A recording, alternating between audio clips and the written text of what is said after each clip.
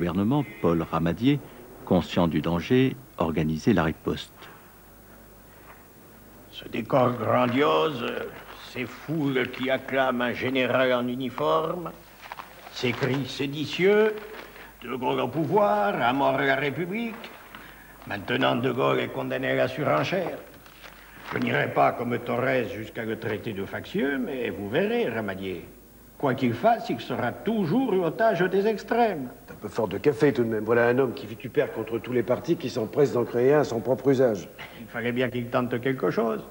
Il a démissionné en pensant qu'au bout de 15 jours, la France entière viendrait pieds nus, la corde au cou, le supplier de reprendre le pouvoir.